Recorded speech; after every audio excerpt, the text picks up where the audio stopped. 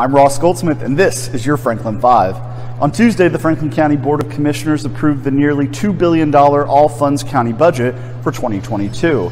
Commissioners applauded County Administrator Kenneth Wilson for putting forward a prudent, progressive vision that serves the needs of every resident every day. It's a long process. Please appreciate it's a long process uh, every year to bring a, a fiscally responsible and forward-leaning budget uh, to the Board of Commissioners. And I enjoy this work every single day. Some days more than others, but I enjoy this work very much. You know, um, especially when it comes to budgets, we say, you know, show me your budget, I'll tell you your priorities. And so, you know, a budget really is, you know, a value set, and, and it and it says like what. Um, what you care about and what we care about um, based on how we prioritize. We're always looking to improve. We're always looking to get better. We're always looking to do more. Uh, the, the, the motto of every resident every day, I was sharing that with our friends at NACO, and they just love that. Mm-hmm. And it's, it, but you know, when you buy into that every resident every day, then all, you know, when, when I bought into that, all I could think about was, okay, so what are we doing for them now? What are we doing for them I'll next? just uh, uh, close this out by beginning by saying just thanks to all the folks who work hard every day to be a part of uh, this institution that we call Franklin County. Um, so much goes into it um, that people don't see and will never um, get to see, quite frankly. And nonetheless, talk to any of those families that we impact each day. Talk to, you know, a single mom on the east side who's trying to make it and turns to Franklin County to get her through the holiday. Or you know, the family that's been stricken by some tragedy and needs resources for this one moment of time, but can turn to Franklin County to get those resources. Or somebody that comes through, unfortunately, in a crisis situation, our correctional facilities, and we're able to put them in a position to access other resources to support whatever their critical need is. The 2022 budget includes historic investments in small business assistance, public health preparedness, and affordable housing, with nearly 60% of the general fund going towards community focused safety and justice initiatives. Commissioners also approved a resolution that will pilot an innovative model delivering a living wage and valuable experience to food service workers here in the courthouse. Uh, for us, this is not just about, you know, starting at the bottom and showing uh, the public how we can build a sustainable business.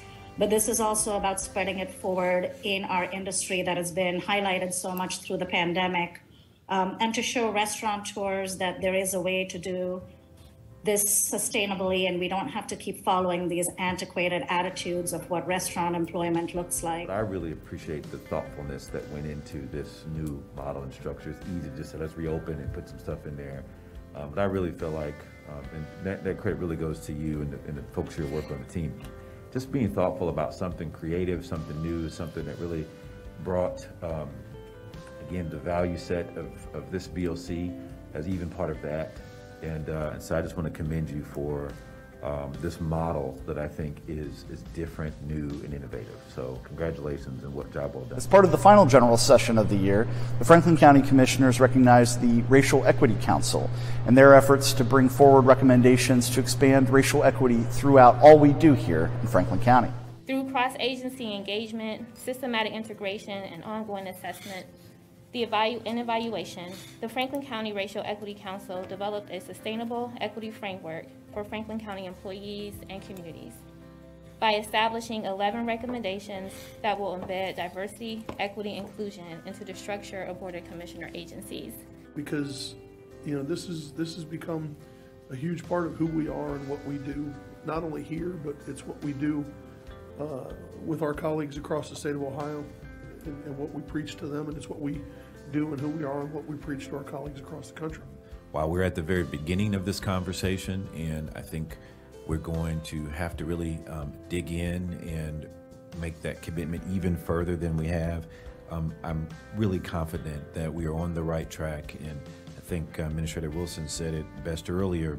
You know, once you have it in your DNA, it, it, it just carries on. Over the last two weeks, the commissioners have expanded a partnership with the Central Ohio Community Land Trust, investing more than $7 million in the building of more affordable housing. Residents interested in buying a land bank property should call 614 724 5263. That's 614 724 5263 for more information. Finally, as we gather this holiday season, please stay safe. Get vaccinated or get your booster shot. The only way we're going to get through this pandemic is by getting vaccinated. We'll be back with new episodes of the Franklin Five in the new year. So, on behalf of the Franklin County Board of Commissioners, we wish you and your family a happy holiday season.